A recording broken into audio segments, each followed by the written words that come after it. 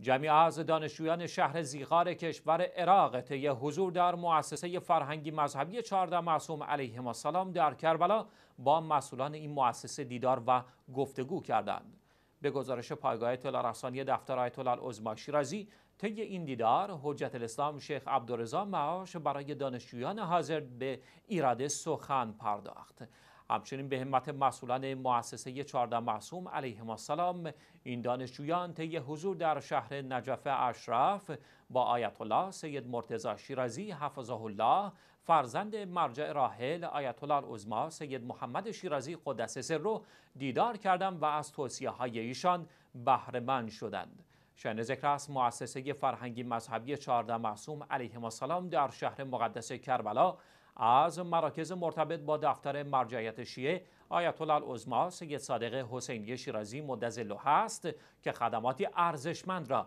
به شهروندان عراقی خصوصا جوانان ارائه می کند.